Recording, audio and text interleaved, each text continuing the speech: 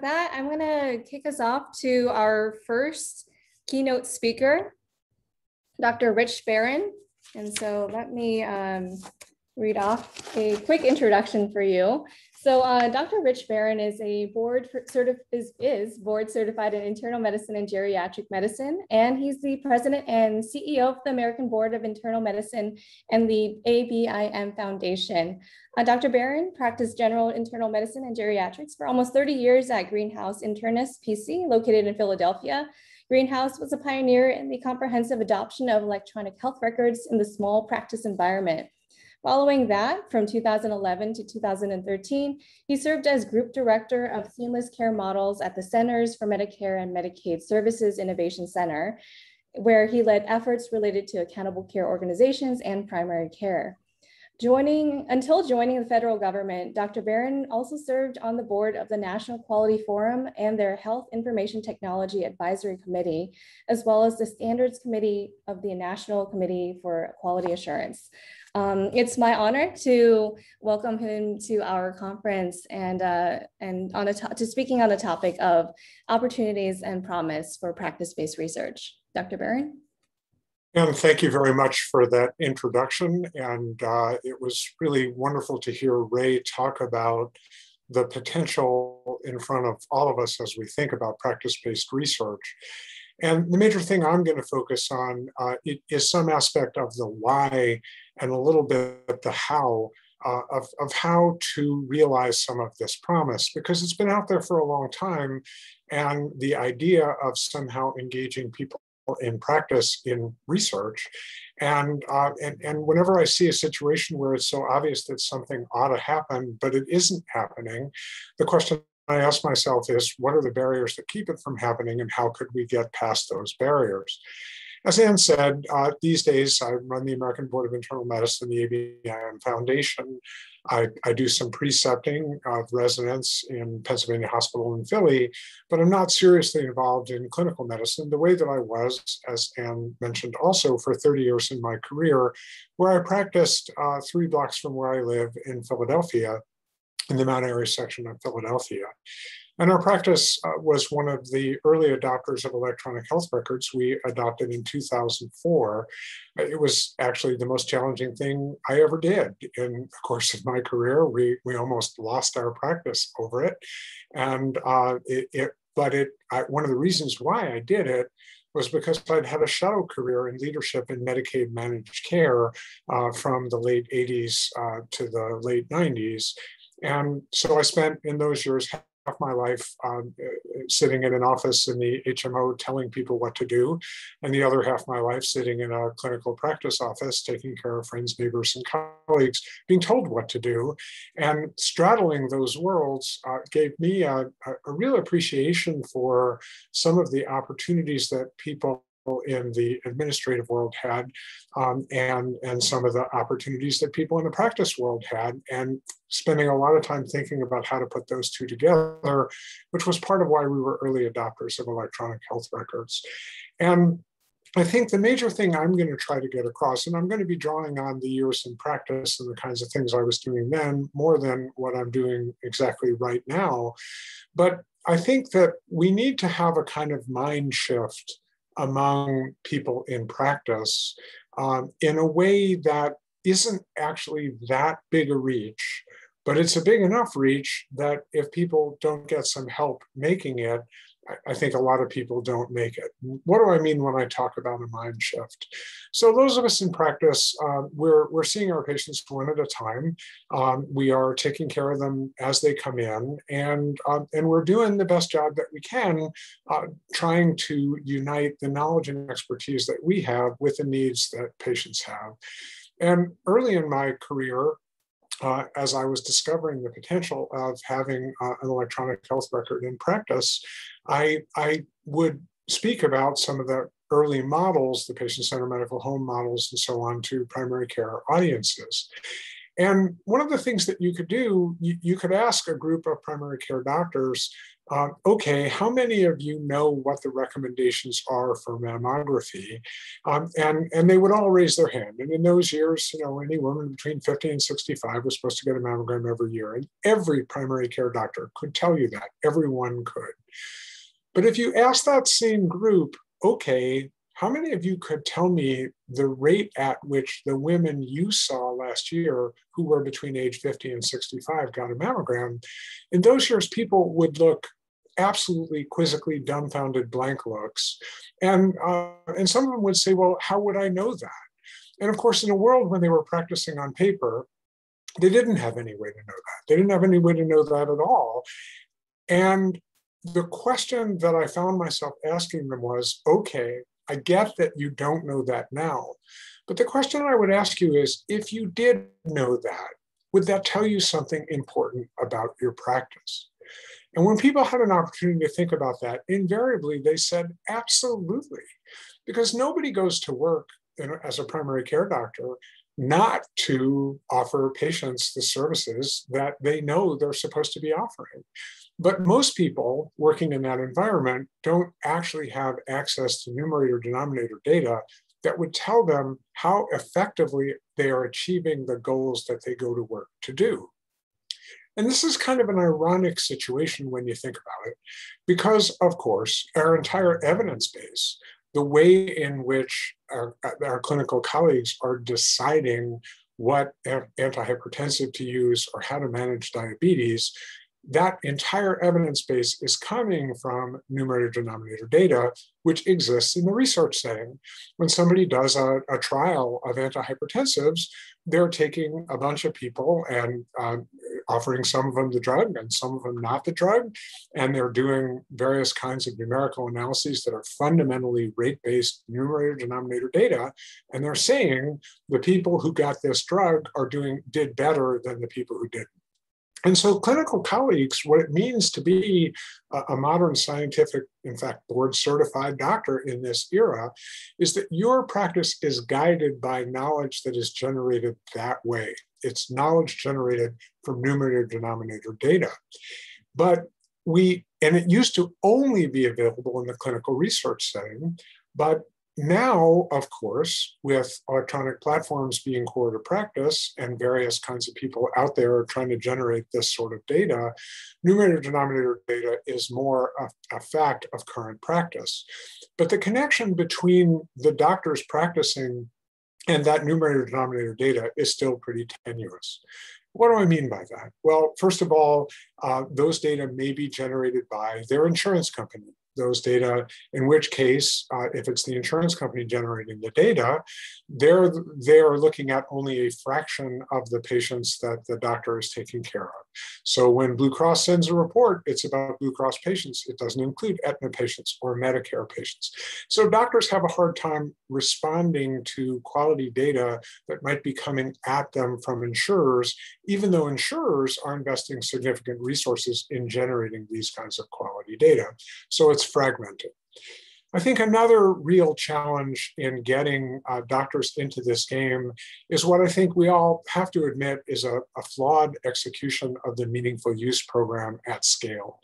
Now, I said I adopted in 2004, and we did, and we wrote about it in the Annals of Internal Medicine. It was, it was just, as I said earlier, it was a near-death experience for the practice. It was really hard, and I argued in that in that article that if we were going to get doctors into this space, we were going to have to fund it one way or another because for primary care doctors, uh, the, the work was enormous, the cost was enormous, and the returns were not enormous. In fact, our first year implementing electronic health record, our, our productivity went down, we were billing less, and our costs went up.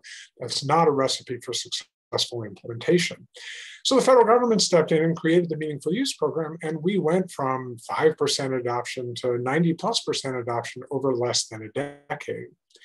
But if you ask yourself the question, who taught doctors how to use electronic health records?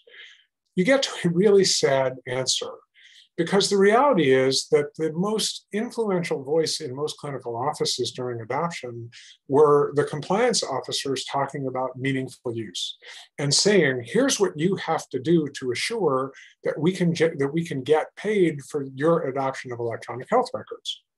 And if you think about that, that would be as if uh, after all, an MRI or a CAT scan generating that image relies on computer processing of a bunch of radiologic signals to generate an image. That would be as if radiation safety officers were the ones who instructed radiologists how to use MRIs in clinical practice or how to use CT scans in clinical practice. The reality was with MRIs and CT scans and, and ultrasounds, doctors pointed that information technology at a clinical problem they cared about and asked themselves the question can this help us solve that problem? Uh, can we use ultrasound to help us manage acute cholecystitis?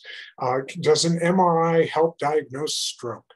These are the kinds of questions that clinicians using information technology were asking. But the way we implemented electronic health records in practice well, uh, we didn't we didn't have it, it didn't unlock physicians' natural curiosity. It wasn't designed to solve problems that they actually thought they had.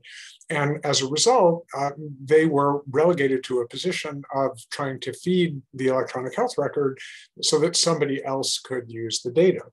And that wound up being problematic too. Another early experience in our practice taught us the importance of structured data. Shortly after we adopted, as I said, I'd worked in the insurance side. I was familiar with numerator denominator data.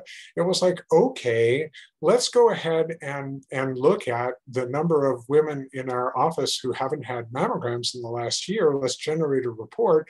Let's send them a letter to try to, this is very early QI stuff for sure. We were geniuses. We're going to send them a letter. We send out all these letters and we start getting phone calls from patients saying, I don't know why I got this letter because not only did I get a mammogram, but I got a letter from your office last week that told me it was normal. Why are you now telling me I should get a mammogram? And when we looked into that, what we discovered was that mammograms entered the chart as scanned documents. They didn't enter the chart as structured data. Some of us understood the importance of structured data and would, would take the steps so that the EHR knew that that scanned document was a mammogram. Some of us didn't. Well, I originally thought the ones of us who did were really smart because we understood what information technology could do. But then I realized that it took 13 mouse clicks to structure that piece of data that had come in as a mammogram and that we, the primary care doctors, were doing all those, those mouse clicks.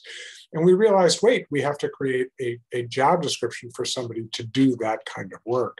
So the lack of structured data uh, in the practice situation limits the kind of reports that people can get uh, and trying to do things that that when frontline clinicians have access to data that can be helpful but there is a huge opportunity for uh, for the kind of research you're all going to be doing to help patients and a huge opportunity to engage frontline clinicians by appealing to their desire to do a better job taking care of their patients.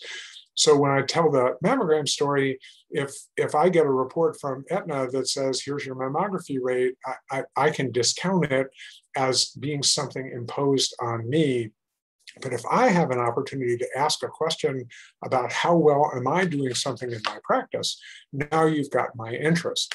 And the more opportunities that you all have to structure your work around the things that the doctors are actually interested in, focused on, care about, the better off you will be. I'll give an example of the kind of power of the, the work that you can do. And Ray reference the way in which some of this implementation science, implementation work can be more powerful than some traditional biomedical research. One of the things that we found annoying in primary care practice was we would refer patients to a specialist and we'd give them a, a, name and a phone number and say, we think you should see this doctor. And then a couple of days later, we would get a phone call from the patient saying, well, I reached out to get that appointment, but the doctor can't see me for six weeks. But they said that if the primary care office called and pleaded, I could get an earlier appointment. Well, I found that incredibly annoying and frustrating. It's like, first of all, I am trying to refer you business. You're the one who's in the business of being a whatever, and I'm sending you a patient, and now you're making the patient call me to plead with you to see that, like, that's crazy. So as I thought about ways we could do this differently, we realized now that we were on an electronic platform, if we could find a medical office that would accept electronic referrals, we could send a referral electronically to the to the office and we could say to them now you have the information. You figure out what when to schedule this patient don't ask me how soon you need to see them you have the clinical information you can decide well in those years it actually was hard to find offices that would accept referrals electronically, but our GI group was forward thinking and they were accepting referrals electronically. And so we wound up referring all our GI patients electronically. At least some of us in the practice did. Some of the doctors in the practice used the electronic referral, some of the doctors didn't. And then we realized hey, wait, the highest volume referral that we're sending to the GI doctors is for colonoscopies. And the standard workflow had been you say to the patient, you need a colonoscopy, here's the phone number, we'll give you a piece of paper with some information about you to bring to the GI doctor.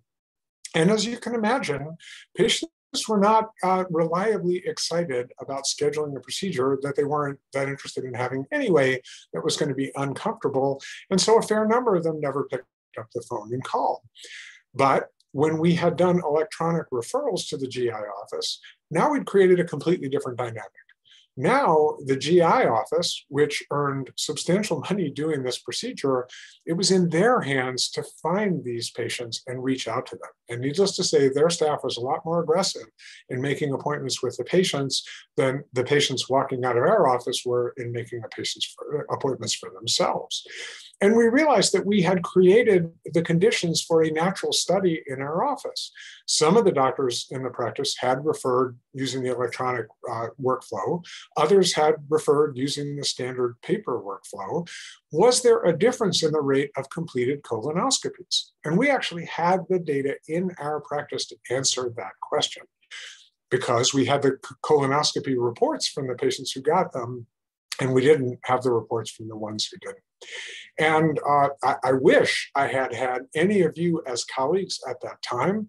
In fact, what I had was a resident who uh, uh, rotating through our office from Temple who was looking for a quality project to do.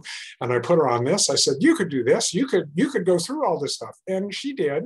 And it turned out that the electronic referral pathway generated a 40% higher completed colonoscopy rate than the paper pathway. 40% improvement in the rate of completed colonoscopies just from changing a workflow in the office. And right around that time she made that finding, there was a piece in the New England Journal that, uh, that documented a new technology for diagnosing colon cancer, uh, which was at that time, uh, let's, let's collect an entire stool in some special preservative container, send it to a lab, pay over a $1,000 at that time, the price is now down around 500, and let's do DNA analysis of that stool to see if we can find uh, the KRAS gene form of that suggests uh, a dysplastic polyp or malignant cancer. The article got published in, in the New England Journal of Medicine because whereas Hemoccult, the standard uh, approach, uh, found 10 out of 71 cancers or dysplastic polyps, the DNA analysis found 29 out of 71. Wow, triple the rate. But that 71 denominator that was all of the dysplastic polyps or colon cancers found in that population, which of course were found with colonoscopy.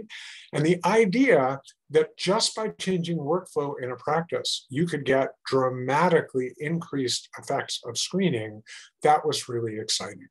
So we could have published it if we'd had colleagues like you, but we didn't. Um, and, and there were various aspects of of the journey that you need to be on to get an article published in a peer review in a peer review journal that we had not successfully done. So I think that the mind shift that I'm inviting you to think about is start trying to design systems that allow frontline clinicians to identify questions that are important to them and engage with you in finding help to solve them.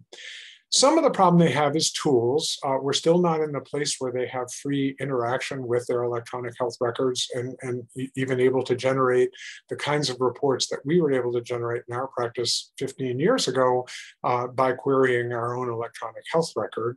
But IHI in, in defining principles of, of uh, best practices for adoption of electronic health records, if the end clinical users are able to query for questions that they have, that gives them a stake in paying attention to the way things get documented and caring about the rate at which they achieve stuff. So I think that's important.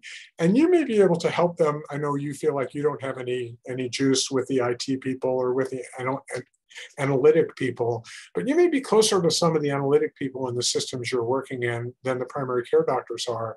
And if you can position yourselves as allies in helping the primary care doctors get access to those kinds of analyses, that could be helpful. And I'm going to close with a story uh, again from the early adoption of technology uh, in in the in the Bush years, uh, there was funding for electronic health records, but not for adoption of electronic health records. There was funding to study uh, how you could get offices to adopt electronic health records. And David Brailer, uh, who was the, the first uh, national coordinator of health information technology, had a very small uh, amount of funding that he could give out to state organizations to try to see how you could get doctors interested in adopting electronic health records. And a friend and colleague in Arkansas, a guy named Bill Golden, uh, had the highest rate of information technology adoption of any state under the program that Brailer, uh, that Brailer had.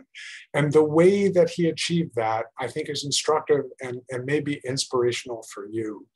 What he invested in was a two-person team of a, a nurse clinician and a practice manager that he sent to offices that were willing to let him do a site visit. And, and he was flying under the, we're interested in trying to help people think about adopting electronic health records. And what we will do is we will come to your office. And sent this team to the office that spent a day on site. Um, and at the end of the day, the exit conference with the doctor looked something like this. Well, we've been observing your practice today. And here are the 10 things that we've seen that you hate, that you really don't like, that you're really frustrated by, that if you were on an electronic platform, these things would go away, these problems would be solved. And my guess is that if you began work with frontline clinicians asking them what things about their practice would they like to know more about? What things about their practice do they care about? what areas do they wish they were doing better? If the conversation starts there, if they have agency, if they are actors, then I think you will find that you will have willing folks who not only want to work with you and let you into their space to, to become collaborators, research collaborators with them, you will have people who are enthusiastic and excited, and you will do a better job identifying problems where there are care gaps. Because the folks closest to the care are certainly the ones who are most aware of where those care gaps are that was uh, that, that was bill's experience bill's learning was that that really the people in practice do know what their problems are. They do know where they're falling short. If you can position yourselves as allies, colleagues, people who will help them address questions that they are trying to address, I think you will be much more successful than if you just sort of drop out of the sky as uh, we're from the practice-based research network and we have some questions we're hoping you will help us answer. I think if you can generate a, a governance structure, an engagement structure, a conversational structure that emphasizes the agency of the clinicians in practice and appeals to their curiosity and their desire to do the right thing, I think you will be uh, much more effective in, in advancing practice in New Jersey and in creating substantial collaborations that, uh, that help clinicians achieve the goals that they have when they go to work every day. So with that, um, I'm happy to turn it over to questions and I know that uh, there are a lot of people on this call with uh, serious experience in practice-based research and serious training in methodology. That's not me. I, I come at it from the clinical side and um, and really can can help think about how you can create those kinds of collegiality and partnership. And thanks for the work that all of you do, and thanks for giving me an opportunity to meet with you this morning. Thank you so much, Dr. Baron. Incredibly incredibly um, inspirational words. So I'm going to call on Dr. Paul Weber to go straight into questions. Who has his hand raised? Paul, I invite you to unmute yourself. Thank you very much, Anne, and also Dr. Baron for your very, I'll call it enthralling presentation. And I wanted to make a couple, couple comments. Um, first, as you described at the end, it, it sounded to me like you're really talking about not only engagement, but uh, tapping into intrinsic motivation of everyone that's involved in the care of the patient. And so for me, that sounds, sounds to me like a wonderful opportunity to facilitate interprofessional collaborative care, which is really the essence of where we are and certainly where we're going to, where we're going to go to an even greater degree going forward. The other um, point I wanted to make for you, or actually ask you, is from uh, you know what you've learned about this network and your experience. Uh, how do you foresee the data that would be generated out of uh, practice-based networks um, being migrating into the choosing wisely campaigns that, uh, that happen and, and the uh, recommendations that happen from the various societies? Great questions, Paul, both. And first of all, uh, completely endorse and violently agree with the appeal to intrinsic motivation. And I think um, that is way more powerful than extrinsic motivation and engaging people. And instead of making people do stuff, uh, trying to engage people in doing it is a much more successful strategy. And you mentioned choosing wisely, and you're absolutely right. Choosing wisely was built on the whole concept that intrinsic motivation is where we want to go.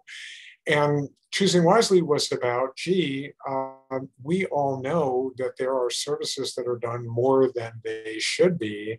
And we invited, from the ABIM Foundation, we invited varieties of professional societies to step up and the same way, use the same process they had for generating uh, care monographs or standards of care or guidelines to generate a list of five things that were done too much. What that does, what Choosing Wisely did, and the most effective uses of Choosing Wisely have been when in regional local centers like you are creating here and you manifest here, people could bring the analytics together to say, what is the rate at which we're doing MRIs for low back pain? What is the rate at which we're, uh, we're ordering antibiotics uh, on initial presentations with upper respiratory symptoms?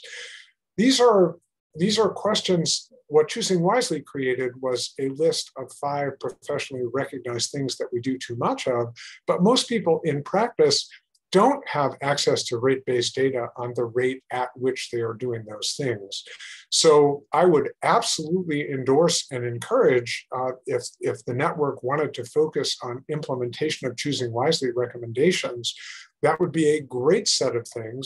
And, and in general, what we've seen is that works best when a local area decides that something is important to them, either because they think they're doing it a lot or because they think they're harming patients by doing it more than they should, or sometimes because they just signed a value-based contract where now all of a sudden doing that stuff is is not uh, is hurting performance in the value-based contract. But it requires a level of, of local buy-in and local salience and from our point of view, and we've seen a lot of people do this, Fred Hutchinson did it in, in uh, their cancer network in, in Washington. They looked at a set of choosing wisely recommendations that were important to them, measured in a set of practices what uh, uh, adherence to those recommendations was. It varied a lot. They focused on the practices that were high outliers, and those practices came down. So I, I think uh, choosing wisely, uh, many of them, not all of them, lead to simple measurement. But the ones that lead to clear measures, um, I, I, think they are very prime uh, for what you're what you're uh, proposing to do here. Thanks for that question, Paul. It's a great question. Thank you. Um, in the interest of time, I'm going to try to honor the two raised hands. And I know there's a question in the chat box, which uh, Dr. Baron, if you're able to respond to it after, uh, in the interest of time, just to make sure we, we stay on schedule. So next up is Mary O'Dowd. Could you unmute yourself? thank you for taking my question. Um, when you were talking about your learned experience with um, uh, electronic medical records, I was thinking about the potential opportunity to learn um, on telemedicine now. And it occurred to me that um, for the in the last year and a half, I've had two experiences. One where I, bless you, went into the office and had a visit in person, and my physician said to me, "You know, we could have done this via telemedicine." and I thought, I thought the same thing, but why didn't we? And then I had another experience with my child who was sick that where I did go through telemedicine. It was kind of difficult. Uh, a pediatric visit is quite different sometimes, and um, we managed through it. But there's a question in my mind about how we're going to use telemedicine moving forward. And I worry that the decision making will be, as you sort of talked about, the compliance officer, I think, being the, the person guiding that decision versus the experience for the patient, um, the experience for the provider, um, and the effectiveness of the interaction which I would hope would be driving some of these decisions about how we use telemedicine. It might not be. It might be about who's paying for what, or you know, convenience factors versus um, quality. And so I wonder if you have any thoughts about how we might think about that in this this new era that we find ourselves in. That's a great question, and and telemedicine is of course, now a, a uh, natural experiment at scale, um, and, and, and it's out there and it is crying out for the kind of resources that you all could bring to it. And I think you're asking the right questions uh, of things we don't know about telemedicine. Who's using it? Why are they using it? Um, what is their experience using it uh, and, and how does it compare uh, to, to the other ways that things were done? I think those are all really important things uh, another thing that I've thought about with telemedicine, and this more from the board work, you know, we we know that doctors vary a lot in how successfully they communicate, and we've never had a very good way at getting a look at communication skills. And uh, one of my favorite studies in surgery uh, was where they took laparoscopic surgery, which creates a video record.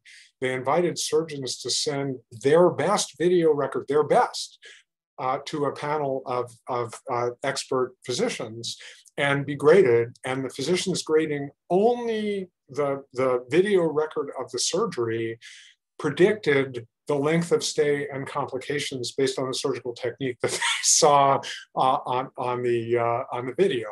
And I think we could do that with communication skills too in a different way with peer reviews of, of communication skills. So I think you're right. It's a, it's a very fertile field to be looking at. Uh, and I think, you know, as with any research issue, what you want to do is define the questions you're trying to answer. Um, I added one to your list: how effectively are people communicating, and uh, as judged by peers or patients, uh, is is a kind of I think new new domain here.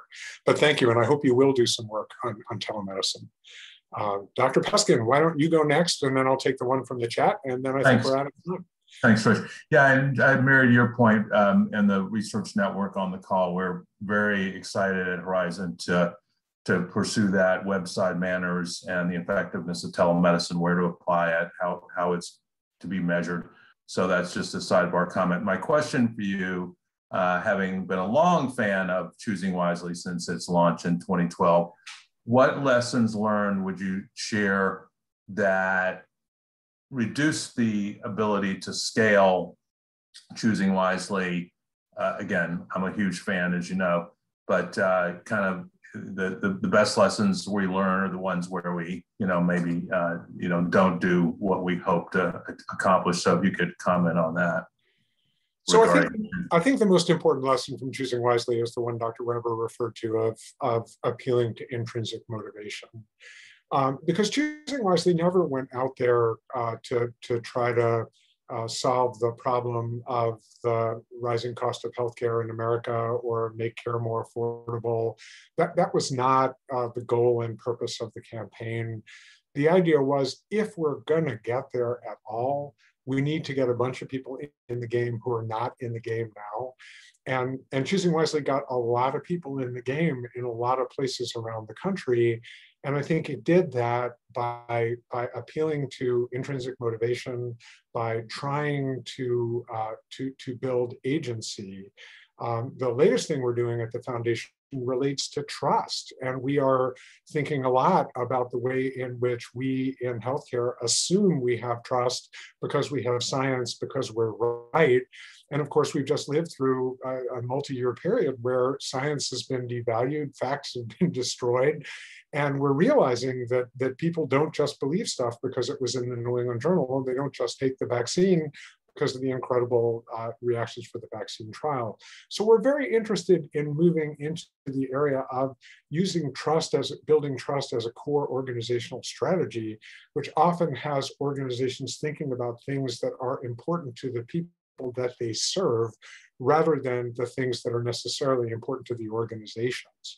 And boy, did we learn that uh, at, at ABIM that we needed to think differently about, about our customers. So I think intrinsic motivation, agency uh, are the most important aspects of scale.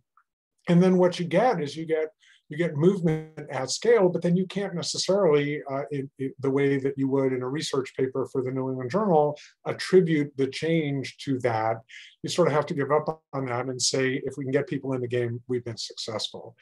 And I do want to take the, the uh, question in chat because I think it's important. And I think it is, um, pick any organization, um, whether it's a, a, a, clinical organization with, with uh, frontline clinical teams and administrators or an insurance company or, or, or a, a, university, uh, there, there tends to be a huge gap between management and everybody else. And everybody else feels like management doesn't know what's going on and, and, um, and management gets frustrated that, you know, people seem to be against them. I think clinicians often, uh, in a way that I don't think is constructive, uh, conspire with their patients. You know, when people come and complain about the parking or the appointment system, the doctors say, Oh, I hate that appointment system too, but the patient can't change it, the doctor can.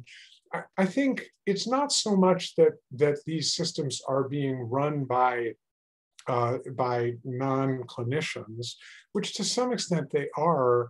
Uh, you know, early in my career, when I was chief medical officer at Health Partners, which was a Medicaid HMO at a time that neither Medicaid nor HMOs were popular, if I go to a cocktail party, people would say to me, um, uh, "Oh, we're so glad you're there because we know you'll get it right. We know you'll be sure that the right thing happens."